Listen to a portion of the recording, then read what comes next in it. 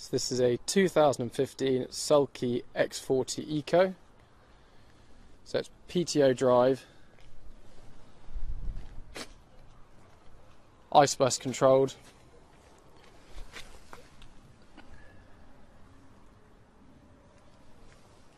Quite a few spots on the front of rust coming through the blue paint.